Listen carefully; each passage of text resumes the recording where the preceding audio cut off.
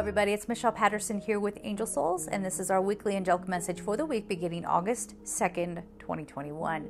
So, immediately, I want to jump in here and talk about how we emotionally process. So, we're going to have to see what actual events are coming up, but whatever it is, it is definitely something that's trying to get us to process in a more efficient way. So, this is not a message of, uh, you know, we're getting numb to things that are happening, but rather we are getting stronger. I know I'm sounding like like an inspirational poster right now. Hang with me, we're getting stronger and more adept at handling the things that come our way. So, having said that, it's more of a mm, sort of outward emotional, oh my gosh, kind of reaction, whatever's going on in your personal life and out in the world, and more of a, let's handle this. Let's let's get through this. Okay, if that makes any sense. Now, there's also this uh, thing coming up here about there's this whole thing around invalidation, invalidation, and Mm, this pattern we tend to have with each other about gaslighting. I have to say, I'm not a psychologist. Please check with an expert. Like you don't know that when you come here, please. Um, but anyway, I have to say that. but this whole thing around gaslighting, it has become so prevalent where, you know, spiritually speaking, it's like a diminishment of one another, where we all want to feel so validated and so important uh, that we will, like, there's this it's coming to our awareness where we're shooting each other down way too much in order to accomplish that. So you might say, well, Michelle, this is not grandiose wisdom. We know that, but do we? Because if we knew that, it wouldn't be happening anymore, right? Or if you say, nah, maybe it's not so bad, and maybe that's why it's still happening, or what are you talking about? You know, everybody needs to grow a tough skin or, you know, grow up. I remember I had a very, very severe incident happen at a company I was working at. Women, you probably know what I'm about to say or not say. Um, you, you know what I'm getting at here. But I told a coworker who is a woman, and she laughed. And she said, basically, it was like, boys will be boys.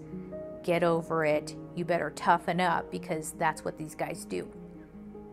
And honestly, you should be honored that they chose you to do that with. Messed up it's messed up, but that is a form of thinking out there. All right. Uh, we see this. I don't want to get too controversial here, but we see this in certain roles that people are supposed to have out in the world. I'm supposed to be in charge. You're supposed to listen to me, and I'm going to keep you low. I'm going to keep you down because I'm the alpha or whatever weird thing that people try to put around that. But the the whole message here is that there's something breaking open with this. Now, on an individual level, I think some of you are going to become aware of what sort of toxicity or diminishment keeps coming at you.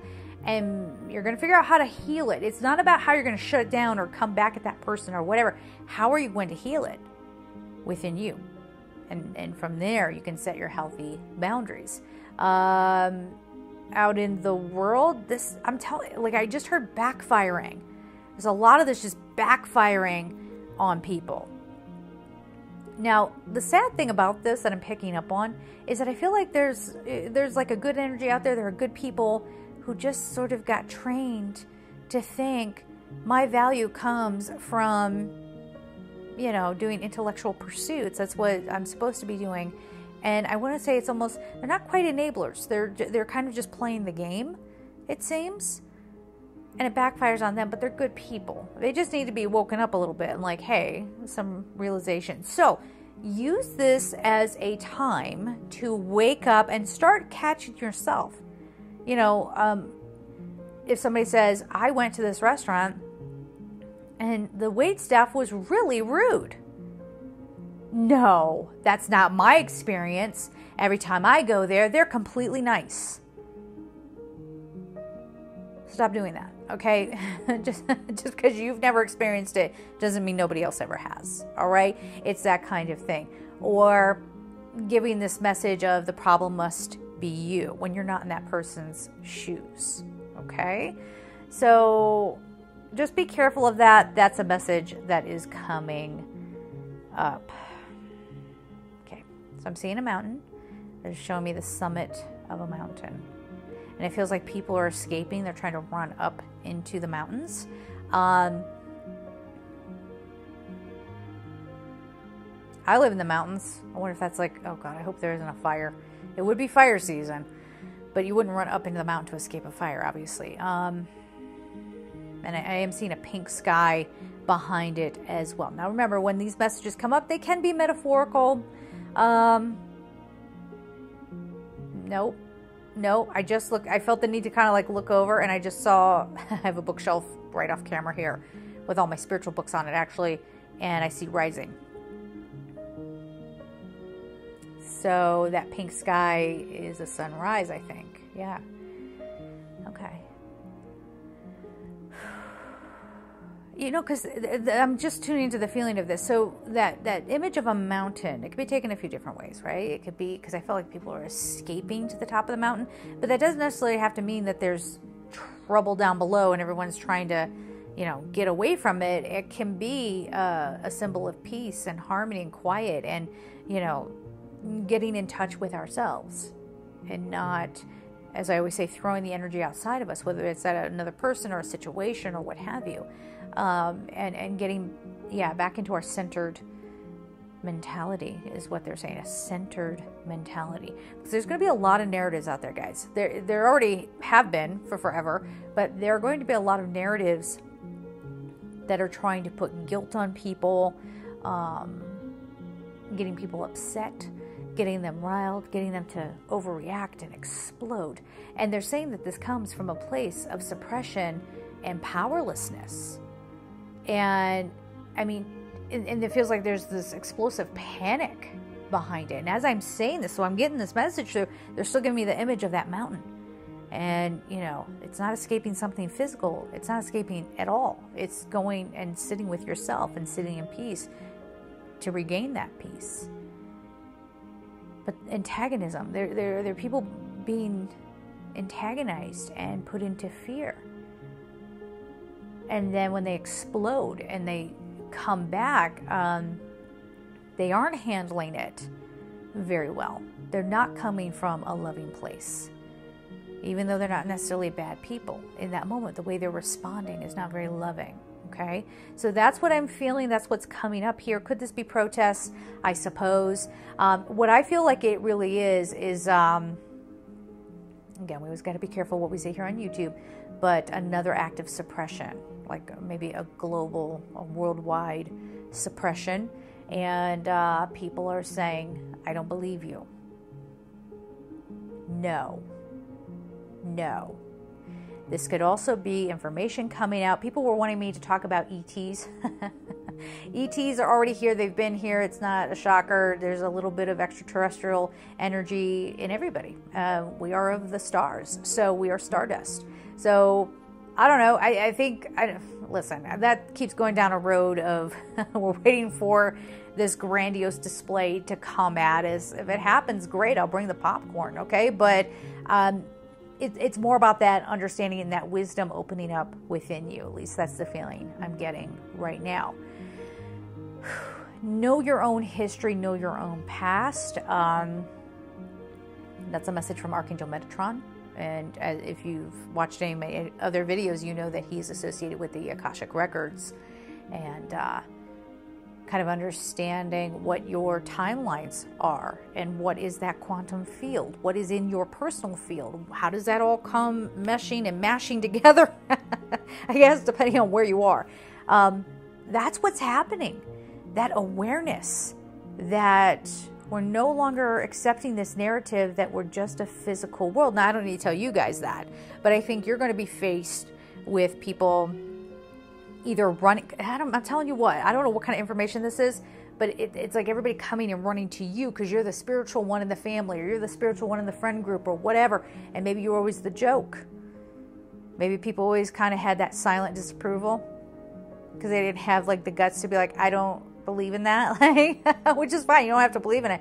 But, you know, all these people that might have uh, kind of judged you for your uh, for your belief system. They judge you for your belief system. Now they're coming to you for help.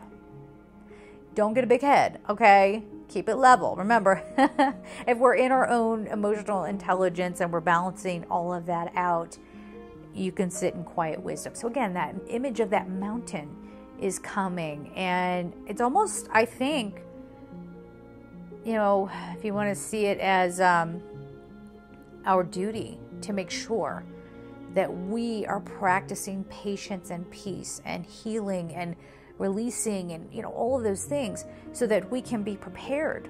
That's what we came here for right? We are the empathetic ones. We are the empaths. We are the ones that you know we go through a lot of stuff so that we can help others. And i know that you all have that calling. Not all of you maybe but you know a lot of people out there have that calling but it's not enough to just go, okay, I showed up, I'm answering the calling. You better be prepared. You can't just show up being an engineer, okay, without the education to know how to do that, right? So you have to be going for an empath. Your education, so to speak, is your life education and you learning how to heal and process, okay? Not, eh, gosh, I'm getting a message now about like these false empaths or like dark empaths. Check with an expert. That might be a psychological term, but you know, people who are highly manipulative and want to again, this whole idea of diminish other people, quieting down the actual empaths, the ones who are carriers of light, if you want to see it that way. Uh, sounds like a bumper sticker to me, but it's the language we have. What we going to do? Okay, that's all there is to it. But you know, kind of. Um, diminishing the actual empaths so that they look more important. And yet they don't have a real life uh, mission, sort of like you do. You know what I'm saying? Or like we do, I should say. And so theirs is more ego driven. They're giving the ego a bad name. They just care about having power and control over people. That's why it's, you know, any kind of issue that a human being could have uh, where they want to feed off of someone else, you know, they're going to be in any of those professions where someone could be vulnerable. So there you go. I'm just going I'm not going to call anything out, but you know what I'm talking about. So just be careful. Any position of power that is pretty much where they could be lurking. So it's really a time for us to rise. Again, I sound so silly. I sound like a sci-fi movie or something. Like rise up and there's going to be this whole thing happening. But really, what it is, it, it's not us having to go and be a part of a war. It depends on how you take that um, or how you view that, I guess. Uh, but it's not that. It, it's being centered in our own heart, having come through. We've done all of the hard work. We well, maybe not all of it, but what we need to do up until now, we've managed, right? We've healed, we've, you know, opened our perceptions and all of that.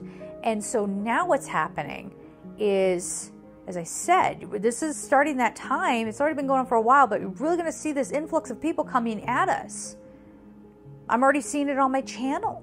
I always know when my channel is getting swept up in the algorithm when I start getting more trolls, more haters. but also, I get the panicky people. I don't know what's going on. I, I, keep having these weird dreams. I feel like something's looming and I don't know what to do with it. You know what I'm saying? So like that that's I think anybody who's watching this if you're very empathic, I think that's a message for you. Get ready. You've been getting ready. But it's not going to happen in an overt way. This growth, this awakening, it's happening so it's almost like sound frequencies that are beyond what a human can hear. Um, it's still there, it's still vibrating. And as much as we want to say, well, I'm an empath and therefore, um, you know, I should be able to pick up on those frequencies and understand them, you may not. And that doesn't lessen your importance in this duty. Does that make sense? So don't go down this road of I'm focused more on um, ways that I can prove my light or prove my abilities, my my esoteric art so that I can be better than somebody else who does esoteric art. it's less about that. And I understand I understand the need to prove ourselves cuz hi, again, I'm out here constantly getting I get it too. I hear it all the time. We're all a bunch of wackos out here not knowing anything, but that's that's changing. And so I think the message here is that we're coming out of this space of having to sort of validate ourselves and prove ourselves. And it's like, I ain't got time for that. I don't have time for that. I, I, I've got to focus on this over here. And for some of you, it's works of expression. But again, how many times have you seen somebody get really pretentious about the work that they're doing? You feel what I'm getting at here? Like we got to really be balanced here and be watching where we kind of get pulled off course, where someone claims to know more than we do they might have some wonderful information to share, a whole other perspective, but they should be just as respectful of your perspective as well. And that's what we're getting at here uh, to not tolerate the diminishment, right? This whole idea of I get to have power over you or I know more than you. Yeah. Uh, this feels like we could go on for two hours talking about this, but let's just get on to the cards, okay? Pulling some cards. Okay, so I do have a new deck here. Um, I know we all get into our habits and everything, so I still have the other decks over here, but this is the Vintage Wisdom Oracle by Victoria uh, Moseley. So there is the cover. Let's see how this is. There are a couple of cards in here that have a little bit of. Uh, might have to cover them up, edit them out a little bit. It's not bad. They're artwork. It's just art, but you know, you know, people get fussy. YouTube gets I said it. I'm not afraid. All right. Let's get into it here. Let's see. I like how these shuffle, by the way. That's always nice.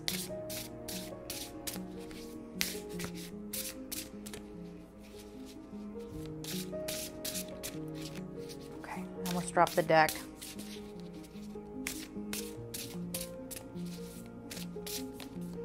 Oh, there's one.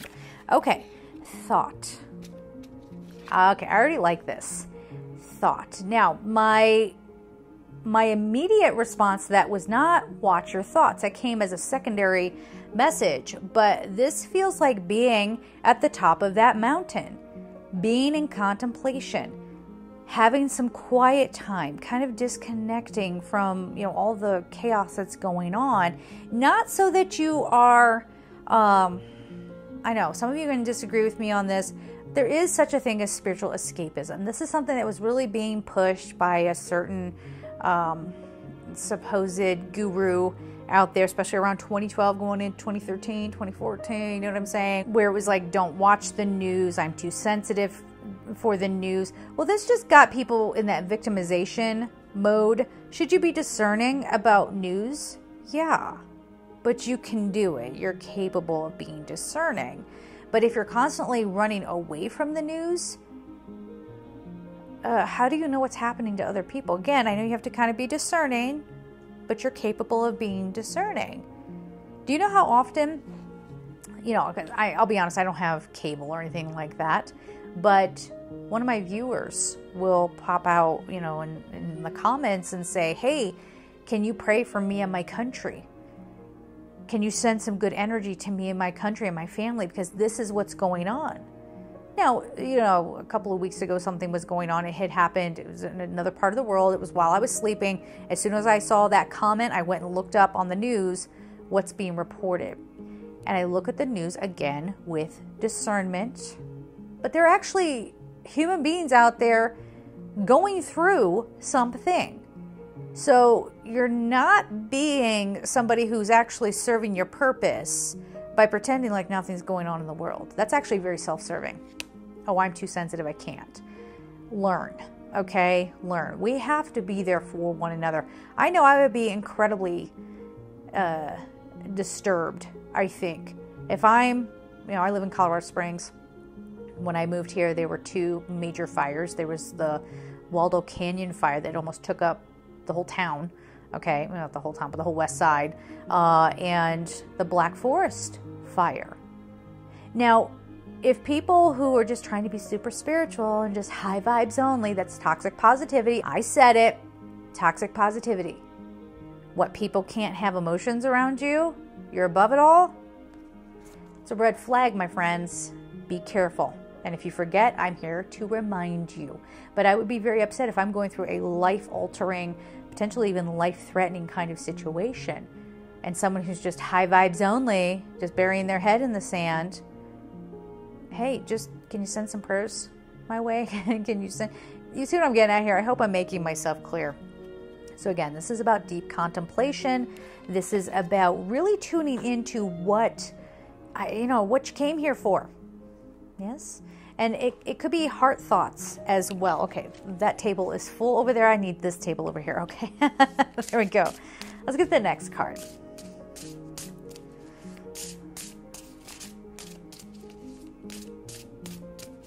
And really, you know, anybody who's going to have a negative reaction to what I just said, it's because we're talking about them. and they needed to get told. okay, I mean, because we're not going to make any change unless we start offering a different perspective. We have to stop going along with the narrative. I guess is is what I'm saying. You don't have to rebel, but offer a different perspective. Make sure my microphone is okay. All right. There's the next one. Compassion. Okay, can I kind of show this card? Yeah, I can show this card. This one's fine. Compassion. So again, that's exactly what we were just talking about uh, about how we kind of bury our heads in the sand and we look away and it's like, "Oh, I'm too sensitive to handle what's going on with everybody else." You're not here to save everybody, but uh, you can't just hide away either. You came in here to be a part of this. I can't talk today. I keep stumbling over my words. You're to see so many jump cuts, which is exactly what's going on when you guys see jump cuts in my my videos. Or I start getting the hiccups, or I have to sneeze or cough or something. But today it's not being able to get words out. What the heck am I saying? I'm saying basically, you know, not just turning away, it ends up being a little bit self serving. You're not here to save everybody, but we don't need to pretend like only your existence matters. Does that make sense? Not that I have to say that to too many of you out there. I'm more I'm bringing that message forward because I think some of you are going to have to go out there and contend with that. Contend with people who are doing the false positivity, the toxic positivity, just so they seem more spiritual. It's more about the image for them than any sort of true wisdom or true compassion. Okay? So don't fall into that. Don't fall along with that. Make sure you are preserving your actual compassion. Yeah, it's the empath's day. And will be from this day forward. So you gotta you gotta make sure you're balanced, harmonious. All right.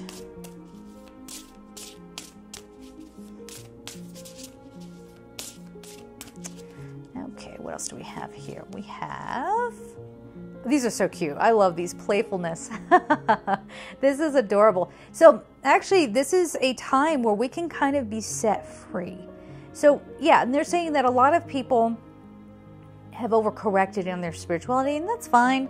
I mean, I think every single one of us got into this, you know, positivity state to correct all the negativity that had been going on. But this actually frees us. The balance will free us so that we can be more playful in our existence and actually make time for playfulness, uh, connecting with the inner child. Okay, that's going to help you. It's going to help you as an empath. All right, I love these cards. So we have purity, and this is exactly going along with what we were saying. Have purity of intention, have purity of thought, have balanced thought. Anything that's trying to pull you to one side or the other is imbalanced. It's not okay. How many people get self righteous about their beliefs? I'm the far this, I'm the far that in politics and, you know, wellness and whatever.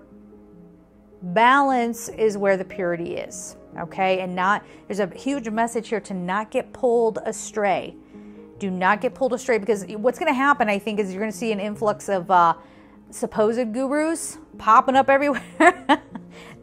you got problems, we got answers, kind of thing. When really, you know, even gurus have to learn. Even gurus have to learn. They have to remember, and that's that's what happens. Come into this earth plane, and they got to find their way back to remembrance. So I'm gonna pull um, one of these moon. What is it? Moonology cards, just one. what do we have? We have you and your loved ones are safe, new moon and cancer. Uh, an emotional time, and it can be a time where it feels uh, like you want to fight back at someone because the crab still has little, little crabby claws, right?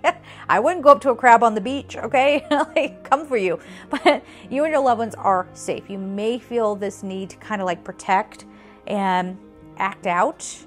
Don't. Just don't. I know here where I live, the road rage, oh my God, what is even happening? And just people wanting to act out on each other. I mean, we need to get into that space of peace. We need to be the carriers of peace. And no, not everybody's going to respond well to that. But here's the thing they will be foolish enough to believe that they are winning. They will be foolish enough as you are in your calm, wisdom, peace, in your light, you're in your heart wisdom. They think that they can whoever they are, you know, whoever would be opposite of that, sort of acting out, um, they're going to think that they can control you. But the joke is going to be on them. And there's going to be, I just heard a devastating wake up call for those that mean to do harm. Now, I don't know that that's like fire and brimstone. Uh, I don't. I don't know that it's that, but it'll be for these people. It'll be even more devastating than that. It's almost they like the pain of that. This is more more devastating because they realize they don't actually have power and they never did. There you go. All right, so we have pink, let love in. The number is four. We need to be in the love space. We need to be kind and loving towards one another. It does have a feeling like we are kind of weathering a storm. And so we have to, you know, so weird. I just had a dream about a storm. I was in a country that was not the United States. Um, and there was like a, oh, what are they called? there was like a hurricane that came in, basically. But it was in another land. I wasn't familiar with it. And I was with a bunch of strangers. And yet, as soon as that storm started to come in, we all banded together and went running off to safety. And we had to sit and figure out how we were going to shelter in place for several days. You know, Hi everyone, it's Michelle here. I'm sitting here editing this weekly video and I record these weeks in advance typically. And as I'm watching this, I'm getting chills that I had that dream because we know that in Europe there is a lot of flooding, entire towns are being wiped out, uh, people are still missing, and it's been absolutely devastating and catastrophic. So I just want to interject here and say, my love to everybody who's being affected by the floods in Europe. And of course, to everybody who's being affected, there's so much stuff going on all around the world. Whatever it is that you're going through, please remember that we are a community here. We are a good emotional support. So let us know what is happening for you and in what way we may help. You know, there was this this need through you know protecting one another this this need of connection i guess during I guess you could see it as a tragedy or see it as uh, turmoil, you know, all that kind of stuff. So letting the love in, this is opening your heart and this is allowing us to remember we don't have to give into a surface level narrative. That narrative is done. This is the real power. All right? So we're going to leave it there, guys. I'm sending you all so much love and take care.